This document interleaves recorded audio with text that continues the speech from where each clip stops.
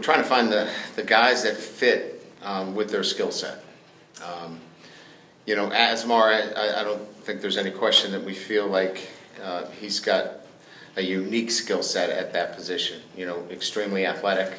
Um, you know, so we're, we're, really trying to find the strengths of each one of those linebackers uh, and, and, and how they fit into the overall scheme of things on first, second, and third down.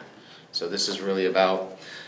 I think we got a pretty good idea of you know who those guys are. Now it's about finding what the best combinations are right now. So we're starting to see some combinations. You know, who's the shortstop and second baseman? You know, who turns it best together? I know that's a maybe a poor analogy, but it's really about trying to find those combinations and you know matching those skill sets. I, I, did I did see that because it was close coverage. Um, does that mean he has four?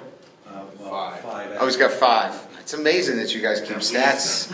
Is there a big board that you guys keep? too? How many times have I screwed up somebody's name?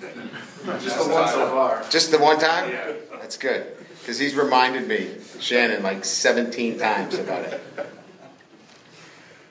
He's a good player. I mean, he's young. He's he's he's uh, he's still growing. He's still learning. He's going to be a good player. There's no doubt. I mean, are you just trying to downplay him a little bit? Because I really didn't know he had three interceptions. Okay. I, I honestly did not. I know he shows up more. I was looking at other things. He's now got my attention a little bit more, so I see him more uh, in terms of what he's doing. There's no doubt.